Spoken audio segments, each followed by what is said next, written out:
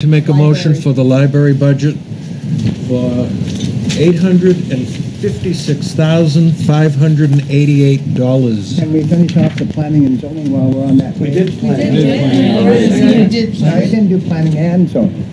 No, no, we We don't, don't- we we did planning need to do Them separately. separately. We don't need to do aggregates, Mike.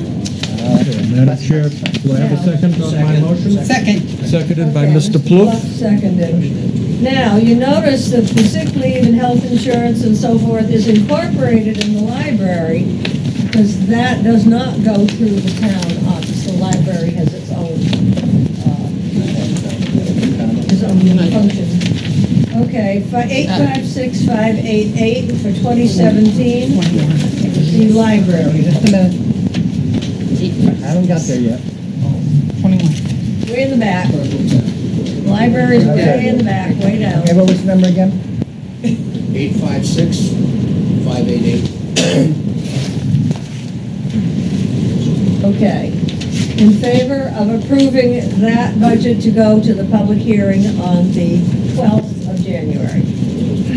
Favor? Brian, what are you doing? Brian's opposed, okay. Wait a minute, because I've got to get this down for, for Barbara. Bridal, bridal Russell, Pierce, Kravitz, Henderson, Woolsey, Why are Clough, you opposed, Brian? uh, sh- sh- uh, Augustine, Maurer, and uh, Buckley and LaBranch. Part-time wages too high? Opposed? Opposed? Okay, opposed Who's opposed? is Mr. Lappert. I'll join Brian. Uh, opposed is Mr. Lappert and Mr. Jones. Everyone else is in favor.